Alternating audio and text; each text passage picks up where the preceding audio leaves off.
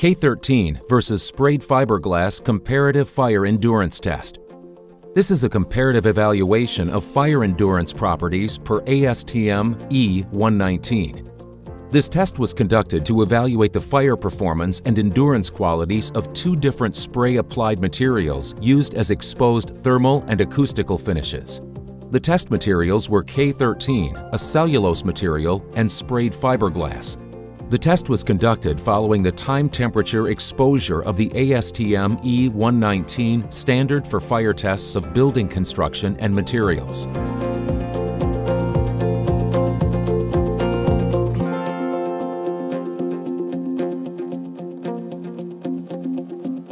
Both K13 and sprayed fiberglass were installed at 2.25 inches in thickness to gypsum board in a side-by-side -side test frame and placed in the test chamber.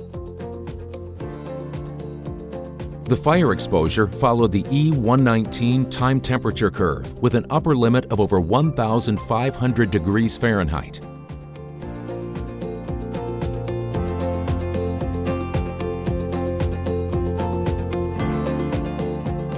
At 10 minutes, K13, the internal thermocouple is 171 Fahrenheit.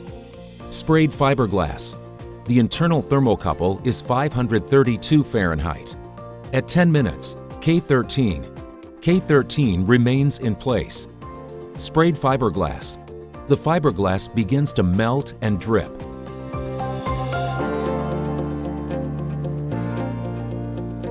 At 15 minutes, K13, the internal thermocouple is 221 Fahrenheit. Sprayed fiberglass. The internal thermocouple is 1069 Fahrenheit. At 15 minutes, internal thermocouple is 221 Fahrenheit.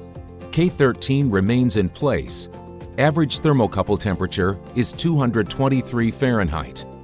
Internal thermocouple is 1069 Fahrenheit. Fiberglass continues to melt. Average thermocouple temperature is 1096 Fahrenheit.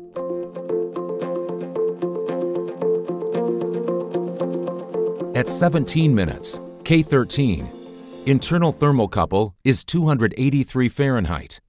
Sprayed fiberglass, internal thermocouple is 1300 Fahrenheit.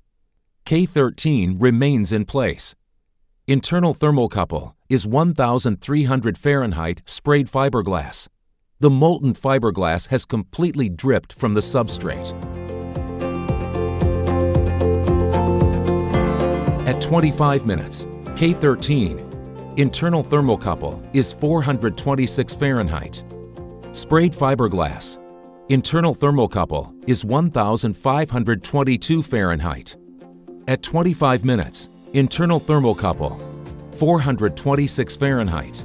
K13 continues to remain in place. Internal thermocouple is 1522 Fahrenheit. Sprayed fiberglass material is no longer present on substrate. At 30 minutes, K13, top thermocouple 193 Fahrenheit. Sprayed fiberglass, top thermocouple is 560 Fahrenheit at 30 minutes. Top thermocouple is 193 Fahrenheit.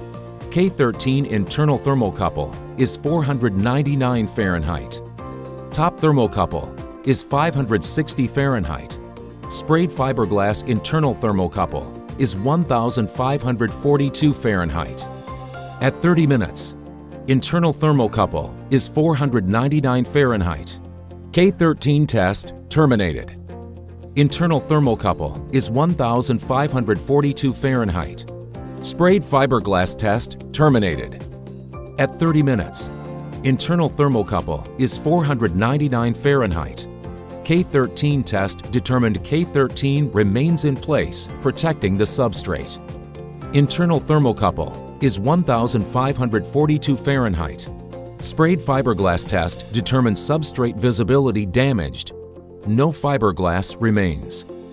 Final observation. K13 remained in place for the duration of the test. No damage to the top of the testing chamber. Thermocouple temperature at top of substrate is 193 Fahrenheit internal, 499 Fahrenheit. The fiberglass melted off the substrate and was completely gone at 17 minutes. Extensive heat, fire damage to top of testing chamber.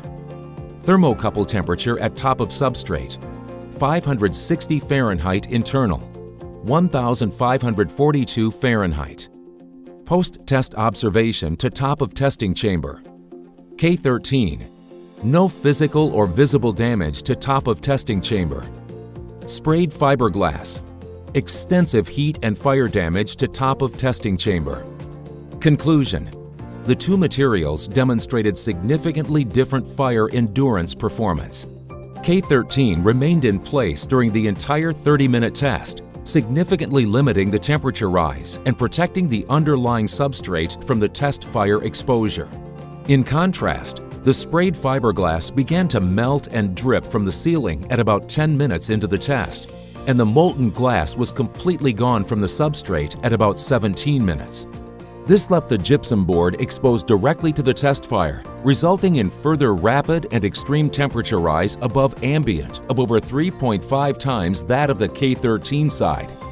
This also resulted in heat scorching to the unexposed surface, figure 1, and a temperature rise above ambient of over 4 times that of the K13 side. The preceding is an illustration of actual test report data the test report is available upon request.